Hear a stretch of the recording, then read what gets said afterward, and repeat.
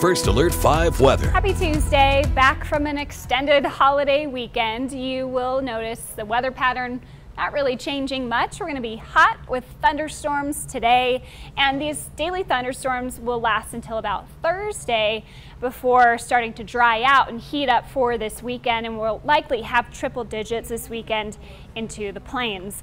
So for today, we're about average for this time of year, 89 in the Springs and 93 in Pueblo, and we have that chance of showers and thunderstorms later this afternoon. So storms are already developing across the region. You'll notice that this activity will really start to increase through about 3 o'clock from the plains to I-25 and in the mountains. Most of the rain will be falling in the mountains today. Storms in the plains will be much more hit or miss. We'll have lightning as our main threat for safety, but we will have some possible standing water on the roads and some potential flash flooding on our area burn scars. We could have some small hail today, but in terms of severe weather, that threat's relatively low for southern Colorado, slightly higher severe weather threat into the northeastern Colorado plains.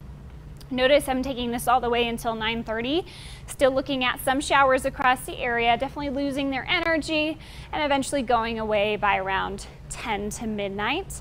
And then we will be in for a cool and humid start to Wednesday. Now highs today looking at upper 90s into the plains, 80s and 90s up and down I-25, 70s in the mountains, and zooming in on the Pikes Peak region, 71 in Woodland Park today, Again, 89 for the Springs as well as Fountain, 87 for Penrose and Florence, 86 Cañon City and 89 for Pueblo West. Tonight we'll drop to the 50s and 60s and tomorrow a little bit cooler actually for the plains. Very similar for our mountain zones. Now what I'm watching here for the week ahead is we still have some monsoon flow for now as high pressure remains out east. But as this high pressure moves west into the weekend, it cuts off our moisture source. We're just under this dome of heat for the weekend and you'll notice these temperatures responding to that. So we'll be comfortable in the 80s for the rest of the week. Showers and thunderstorms likely through Thursday. Then watch as the 90s return for the weekend. Saturday and Sunday will be a couple of hot, dry days.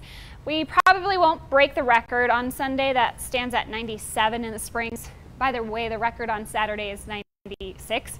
So I don't think we'll quite make it there, but that's just showing just how unusually warm we will be for the weekend ahead. 80s and 90s for the rest of the week in Pueblo. Showers and thunderstorms possible each day through Thursday. 100 on Sunday would be, again, close to the record, but not likely to break it. The record stands at 105. And in Cañon City, you're following the same pattern. Comfortable with 80s for the next three days, showers and thunderstorms to further cool you off in the evening. And then 90s in store from Friday through Sunday with dry weather then, but watching for showers and thunderstorms to return on Monday. Woodland Park, an afternoon thunderstorm possible through Thursday, drying out a bit into the beginning of the weekend, warming up to the 80s this weekend.